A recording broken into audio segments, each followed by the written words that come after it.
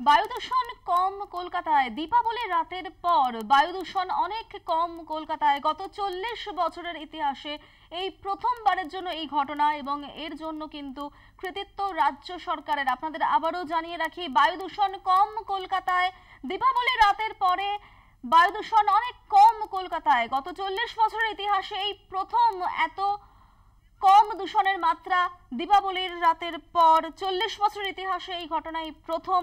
এর কৃতিত্ব রাজ্য সরকারের উপরেই যায়।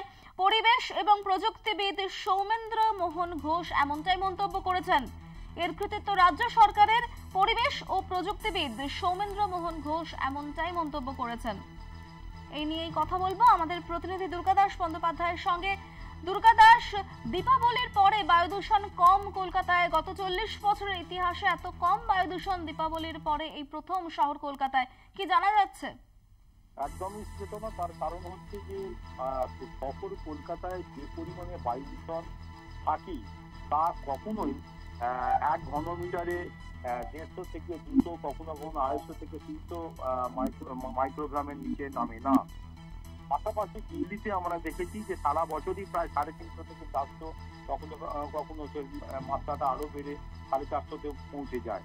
ফলে তার মধ্যে এই যে গত কাল বা গত কদিন ধরে এই যে আমাদের দীপাবলি বা মানে বিভিন্ন রকমের আলোক উৎসব চলছে, সেখানে বাজি বা ফায়ার ক্র্যাকার্সের একটা ব্যবহার ব্যাপার থাকে।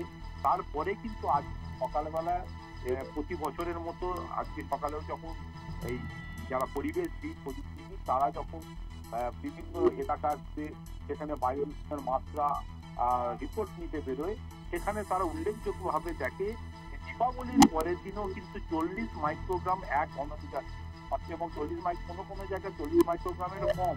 অর্থাৎ আমাদের শহর কলকাতায় এই মুহূর্তে দূষণের মাত্রা এমন একটা নিচের দিকে নেমেছে যেটা গত চল্লিশ বছর ইতিহাসে দেখা যায়নি।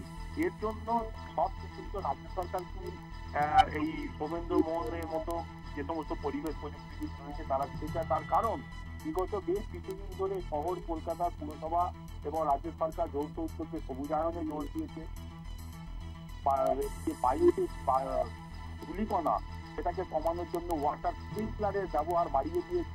পাশাপাশি কলকাতা পুলিশকে নির্দেশ দেওয়া হয়েছে যাতে অটো এমিশনগুলোকে কোনোভাবেই নজর এড়িয়ে না যায়। অটো এমিশন যেন নিয়মিত চেক করা হয় এবং সেখানে দূষণ দিয়েছে তাকে যেন কেস দেওয়া হয়। এই বিষয়টি মনিটরিং এর মধ্যে রাখার ফলেই এই উল্লে- উল্লেখযোগ্যভাবে এই দূষণ অনেক কমে গেছে। পাশাপাশি বেশ কিছুদিন ধরেই শহর কলকাতায় ফায়ার ক্র্যাকার্সের দৌরাত্ম যাতে না বাড়ে, এ বিষয়টি নিয়েও মুখ্যমন্ত্রী নিজে এই কলকাতা এবং রাজ্য পুলিশকে নির্দেশ দিয়েছিলেন।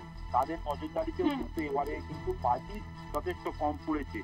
ফলে শহর কলকাতা এবং তৎসংলগ্ন অঞ্চলের মানুষের শরীর স্বাস্থ্যর ক্ষেত্রে এই যে চল্লিশ মাইক্রোগ্রামের নিচে এই মুহূর্তে পাওয়ারে মাত্রা শহরে রয়েছে এটা কিন্তু উল্লেখযোগ্য কথা। অনেক ধন্যবাদ দুর্গাদাস। কথা বলছিলাম প্রতিনিধি দুর্গাদাস বন্দ্যোপাধ্যায়ের সঙ্গে।